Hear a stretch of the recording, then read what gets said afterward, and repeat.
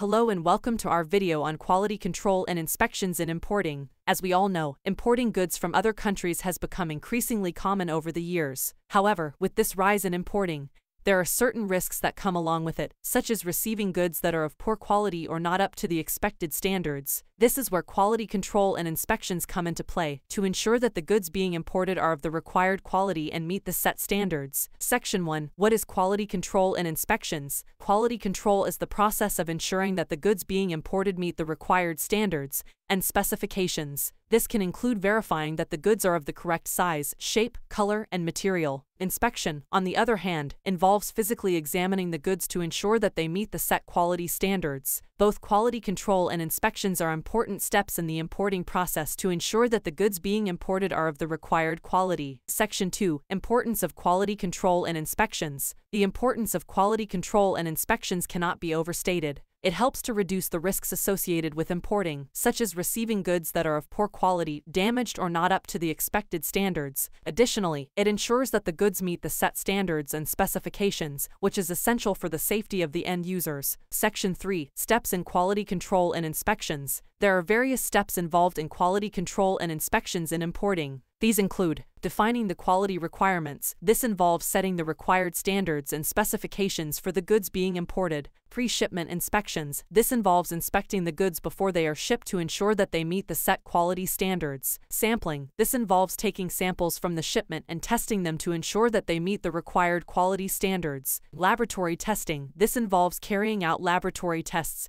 on the samples to ensure that they meet the required quality standards. Post-shipment inspections. This involves inspecting the goods after they have been shipped to ensure that they meet the required quality standards. Section 4. Benefits of Quality Control and Inspections. The benefits of quality control and inspections include ensuring that the goods meet the required quality standards and specifications, reducing the risks associated with importing, such as receiving goods that are of poor quality, damaged or not up to the expected standards, enhancing the reputation of the importing company by ensuring that they only import goods of high quality, Conclusion In conclusion, quality control and inspections are critical steps in the importing process to ensure that the goods being imported meet the required quality standards and specifications. By following the steps outlined in this video, importing companies can reduce the risks associated with importing and ensure that they only import goods of high quality. Thank you for watching this video on quality control and inspections in importing, and we hope you found it helpful.